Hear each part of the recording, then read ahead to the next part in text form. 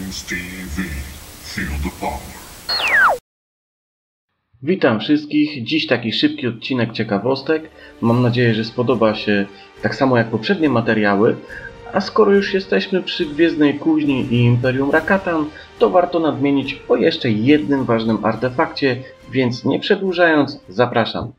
Informacje o artefakcie, o którym opowiem Wam, są szczątkowe, dlatego ten materiał nie będzie zbyt obszerny, a mianowicie chcę powiedzieć o silniku nieskończoności. Jest to urządzenie, które zostało stworzone przez Darth Revana, kiedy był Mrocznym Lordem Sith. To wtedy sprawował on władzę nad Gwiezdną Kuźnią i silnik jest jej elementem. Revan zdał sobie sprawę, że ten niewielki fragment ma ogromny potencjał i byłby w stanie tworzyć nawet całe galaktyki, gdyby tylko dać urządzeniu odpowiednio dużo czasu. Silnik nieskończoności był tak potężny, że dzięki manipulacji energią był w stanie stworzyć dosłownie wszystko, od powietrza po schrony, jak i jedzenie. Lecz Revan nigdy nie wykorzystał jego potęgi. Urządzenie zostało przekazane w nagrodę dla obcych z rasy Ongri, którzy służyli Revanowi. Yy, Stali się oni strażnikami potęgi silnika yy, i chronili go w specjalnym ufortyfikowanym kompleksie na planecie Narshada.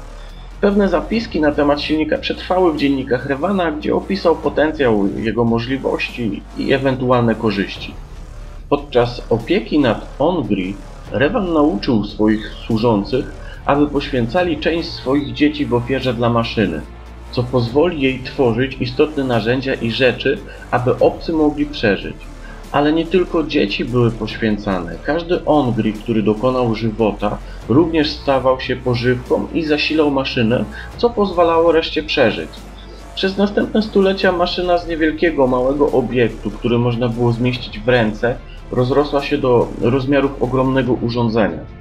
Przez długi czas udawało się zachować w tajemnicy położenie silnika, ale podczas. Tak zimnej wojny Imperium Sith odnalazło tajny kompleks i jej imperialna służba, odzyskująca pozostałości po przodkach Imperium Sith, dowiedziała się, że obiekt został zbudowany przez Revana, co powodowało ich obawy, co mogą napotkać w środku. Pomimo tego wysłana została spe specjalna ekspedycja, która miała zbadać cały kompleks.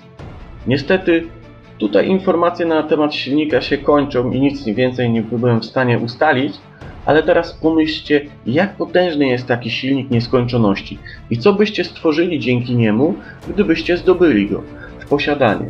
Piszcie w komentarzach, a najlepsze trzy pomysły użycia silnika nieskończoności ogłoszę na początku następnego odcinka. Pozdrawiam, trzymajcie się ciepło, hej!